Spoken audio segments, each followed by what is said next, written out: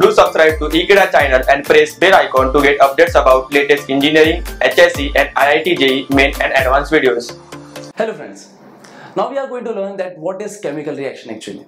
So the first thing that we learn about chemicals is there are various kind of chemical reaction then we are going to study. So what is chemical reaction actually? Let us see the definition of it and let us see that how many and different kind of atoms that are being involved with each other to form a new kind of material or new kind of product. So let us see the definition of it. So now talking about chemical reaction, chemical reaction means the process in which substance or substances interact with each other so as to produce chemically a new substance or substance is known as a chemical reaction. So the chemistry is being involved in the interaction of materials or interaction of a matter that is substance. If two or more uh, matter interact with each other chemically so as to produce a new kind of matter or new kind of uh, substance then in this process we could clearly say that a chemical reaction has been happened. So to elaborate this process or to elaborate this kind of definition let me tell you uh, a few examples regarding the chemical reaction.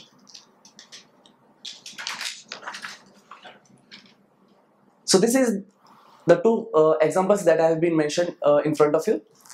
As you can see, when carbon is reacted with hydrogen, that is 2 moles of hydrogen, you could produce methane, that is CH4. So let me tell you, the carbon in this process is basically a graphite, that is a solid. And graphite has different property compared to that of hydrogen. And hydrogen has also a different property than compared to that of uh, carbon because the both elements or the both the substances are different with each other. So when they combine with each other chemically, then a new kind of product is being produced, and in this case is methane. So methane is basically an organic uh, substance, while the carbon and hydrogen are the inorganic substance or the uh, substances in which the properties are very different. So with the help of a chemical reaction, what we can do is we could interact two different substances to each other and make a product which is different from both of it. So talking about the next one, next one is an example of when how can we produce uh, or how can we uh, react that is uh, nitrogen with hydrogen. In this process what will happen is the nitrogen which is present in a gaseous state it will react with the hydrogen which is also present in a gaseous state and the both which has a property different different property with each other they will react with each other so as to produce ammonia and ammonia has a property different with that of the nitrogen and hydrogen. And let me tell you one more uh, thing about this is that in this case the product that are being produced here they are basically stable. So there are uh, chemical reaction in which the producer uh, in which the uh, products are not stable but in this case that I have given you an, an example they are the uh, stable products. So this reaction can't be undergone very easily. So therefore there are few factors that are out that should be involved in this process.